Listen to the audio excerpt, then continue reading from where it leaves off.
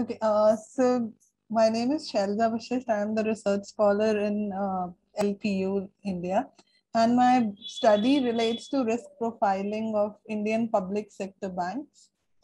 Uh, so basically, what we have done in this uh, research is that we have specifically selected the largest public sector banks of India because they are already in the consolidation phase and government is uh, in the process of merging them uh, after almost a, a couple of decades. So in order to understand whether these mergers will be helpful or not and what kind of banks should be merged into each other, we have done a collaborative study where we have considered these banks as one group and in that one group we have calculated the various subgroups on the basis of their risks so we've taken uh, the financial variables from uh, the financial crisis of 2008-9 in order to see that whether uh, there has been any improvement or uh, since the financial crisis, because as we know that Indian banks performed uh, comparatively well as compared to rest of the world uh, in terms of financial crisis. So, but we still suffered a lot of shock. so it is important to see that what is the progress we have made since then. So basically, uh, what the literature has suggested so far is that uh, ownership is very important uh, element in determining the risk profile of any banking firm, especially when it comes to public sector bank, because uh, we are we have seen that they are more interested in um, propagating or pushing the government reforms and the populist measures sometimes, and their focus is not on profit which is a good thing in a socialist environment, but at the same time, it can be bad for the riskiness of the bank and for the investors' returns as such. So, in order to find out that, uh, and in India, public sector banks have always been criticized for being less profitable and more risky. So, in order to understand that what actually is the risk profile and which of the banks are more riskier than the others, we have performed this study. Now, the major contribution, what we have done is we have uh, the existing studies have mainly focused on the mathematical models based on the financial ratios, that is CAMELS or Z-score models that takes in the studies individual banks and uh, gives them a score or the rating. But nobody, uh, no mechanism as such has been followed, which is a comparative measure that they can compare one bank with all the other sectors, uh, all the other banks in the same ownership group and then compare on uh, comment on the risk comparative risk profile. For that, we've used the clustering technique, which is a very common uh, marketing and the social behavioral sciences technique, but we have used it in the uh, financial data. So basically, what we have done is 10 largest largest public sector banks. Uh, we have taken on the basis of their asset size, and we have taken the data for 12 years and performed this analysis on the basis of k-means clustering. Now, k-means is a special clustering which already has a predefined number of clusters and lets us uh, divide the cases into those uh, variables. Now, why we have chosen k-means clustering? Because we already wanted to know that how many of them are high and low risk uh, bank. So we did not need to find out the number of clusters. We already had those classification uh, in mind. And that's why clustering, k-means clustering was used. And in order to find out uh, in those risk profiles, what the differentiation, which variables are more significant than the others, we have used the um, one-way ANOVA uh, on the clusters itself, the results of the clusters to find out that which of these variables contribute to the forming of those clusters over the years. So these are the variables which we have used. Some of them are uh, so we've taken all these variables to uh, broadly identify all the five major types of risk, which the Basel Committee uh, has defined. Basel Committee, as you know, that is the standard uh, regulatory or non-prescribing body with for international standards. And they have classified the bank risk into five major kinds of risk. And we have taken these variables which can broadly cover those five types and these are the basic descriptions of basic abbreviations which we have used in the studies uh, so far. And these are the variables. Some of them are profitability indicators. and some of them are liquidity indicators. For example, cash, um, uh, what is the cash and bank balance to the total asset? And the most important ones specific to the industry are loans to deposit ratio and the NPA, which has again been the point of contention for the performance of Indian banks because we have been witnessing a very high trend of non-performing assets. So once we've taken these variables, we have uh, applied the cluster analysis on each of the, on these variables for all the banks every year to see the uh, performance trend over 12 years and see that whether those banks have uh, improved their performance or whether they have deteriorated or remained same. So this basically uh, shows the risk profile that uh, the cluster, the final end results of the cluster that which of these banks can be clustered into which uh, risk profile. So these are the 10 banks. As we see that the bigger banks like the SBI and the Bank of Baroda, which have been the strongest and the largest banks, and they have performed much better as compared to the smaller banks like UCO banks and Indian Overseas Bank and the Central Bank of India, which have been consistently performing high risk. So uh, further research can be conducted on the relationship between the size of the bank and the owner by taking the ownership as a moderating variable to find out that how these two are related to the risk profile of the bank. But the preliminary results show that the bigger banks, which have the higher asset base, are performing better than the smaller banks in terms of the risk profile.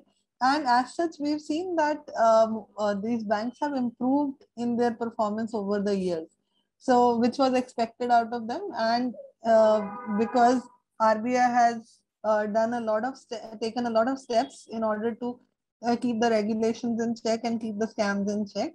Uh, and despite the regulatory change in the mergers, these banks have been performing well. Although the impact of COVID can be studied, that uh, what exactly how much big of a shock was this to the Indian economy, because a lot of uh, loan uh, waivers were given by the government and a lot of uh, defaults happened in the year 2020 and 2021. So this will be another set of uh, small mini crisis for the banks and the impact can, this study can be taken further to include that effect. So uh, as I mentioned, we use the uh, ANOVA to actually find out that which of the variables are more significant for determining the risk profile as such of a bank. So what we have observed is that uh, these are the p-values of ANOVA. So what we have observed is that the profitability indi uh, indicators, which are the return on assets and return on equity and the net profit, they are the most significant factors throughout the period of study. For all almost all 12 years, they have been significantly important for the uh, clustering and they have caused the major difference uh, between the high and the low risk cluster of banks. Another major indicator, uh, as the literature has also suggested, that is the level of deposits in a bank. That how much deposits a bank has, that shows the major confidence which the investors have. That if the investors do not have confidence, they would not like to keep uh, uh, their funds in that bank. So that is uh, another indicator which has come out as a very important significant uh, differentiator between the high and the low risk clusters. Uh, contrary to what uh, literature has suggested for the other emerging economies, the difference in risk profile does not uh, necessarily come because of non-performing assets. Now, uh, this, this is a very important uh, discovery for Indian public sector banks because we have always had a pressure from the government for controlling the high, uh, the non-performing assets. But it also means that this is not a differentiator. More or less, banks in this public sector, in the government-owned banks, they have a similar range of the non-performing assets. So they do not differentiate the risk of the bank. So it is yet to be seen whether that uh, that's a part of our forthcoming study that what is the uh, contribution of non-performing assets if we com uh, compare the ownership structure. For example, if we compare the public and private sector banks risk profile, then what is does this contribution of non-performing assets change or is it this is it is not important for determining the risk uh, profile within the ownership group of a bank? So major basic findings what we have uh, found out is that we've already told you we have uh, tried to fill the gap in the methodology section of the banking risk by introducing a new uh, methodology which can compare um, the risk in a group instead of individualistic component. And we've tried to balance out all the five categories of risk. Then uh, the findings basically suggest that the bigger banks are the better performers because of the higher asset size and the more profitability. And uh, as far as the differentiators are concerned, they are uh, restricted to the profitability index, uh, profitability indicators like uh, ROE, return on equity, return on assets, and net non-performing assets, and the loans to deposit ratio, which is again a very important uh, phenomena variable in the literature as when it comes to banking risk, does not differentiate the risk profile of the Indian public sector banks. So these are the major findings, uh, what we have gathered from the study. Uh, that's it from my side. I'm open for questions. Thank you and uh, good uh, presentation. Uh, uh, with respect to question that you are working on NPA with respect to your fine, you know the other banks and all. Right. So, what are the other factors uh, which are usually, uh, you know, what are the factors or key parameters you have considered in the research? So, what we have generally, we have taken these uh, 10 variables to determine the okay. cluster of the banks uh, on the basis of the risk. So these uh, variables are indicators of the five major types of risk. That is the operating, credit, uh, interest rate, market, uh, and liquidity risk. So these are the five risks which the international standards define. So these we have taken that uh, 10 variables to see that which of these variables actually contribute the difference within the same ownership category. So what we have found out that uh, although NPAs are high in the public sector bank, but the range is similar in all these banks. So they do not differentiate between uh, high and the low risk banks. And when it when they are standardized, the variables are standardized, so they don't differentiate. Similarly, loans to deposit, that means how much loans are you giving and how much deposits are you taking? That difference is generally considered an indicator of risk. So that it, it doesn't uh, again differentiate between the high and the low risk banks in the same ownership category. So these two are the major standouts from the earlier literature finding. What we are uh, we are doing in the further uh, papers is comparing the different ownership groups and seeing that the, do the results change or would they remain the same. And another thing which we are doing is the checking the impact of COVID uh, that with how the risk profile of these banks change, which will give us a suitable uh, fundamental so that the policymakers can check that if these banks can survive COVID and still remain in the low risk cluster, so they are financially fundamentally strong. Okay, thank you, Shailaja.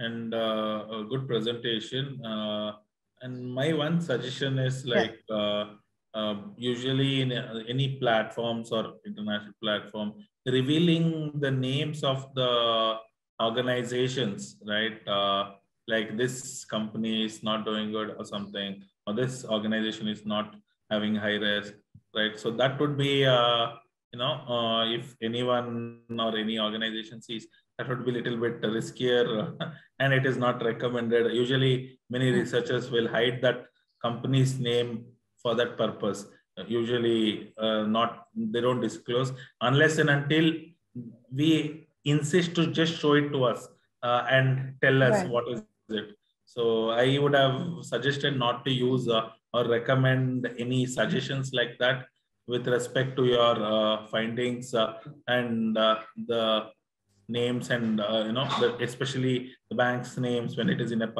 public and international platforms thank you yeah that is a great suggestion. I'll keep in mind while presenting the future research in this topic.